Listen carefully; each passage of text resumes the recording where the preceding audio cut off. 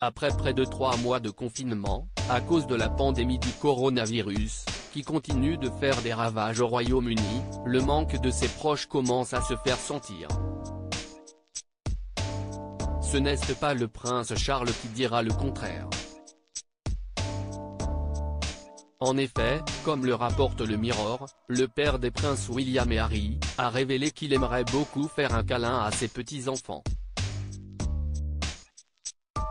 J'ai fait le FaceTime, tout va très bien, mais si est terriblement triste de ne pas pouvoir voir sa famille et ses amis, a-t-il confié.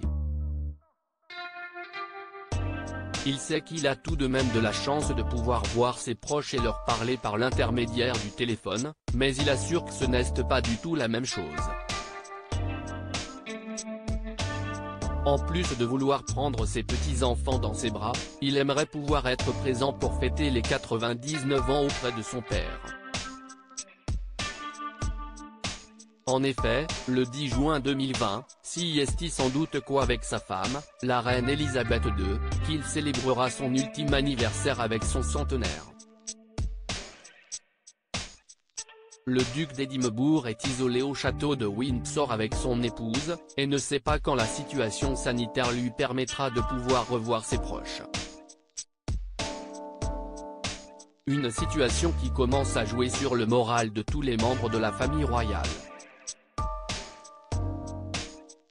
Ils aimeraient pouvoir enfin être réunis. Le prince Charles a été touché par le coronavirus il semblerait que ce soit encore plus compliqué pour le prince Charles, 71 ans, qui est parvenu à se remettre du coronavirus à l'âge de 71 ans. Aujourd'hui, même s'il sait que le confinement est compliqué, il assure que si est une étape essentielle pour stopper l'épidémie. Je comprends totalement les frustrations, les difficultés, le chagrin et l'angoisse de tant de gens.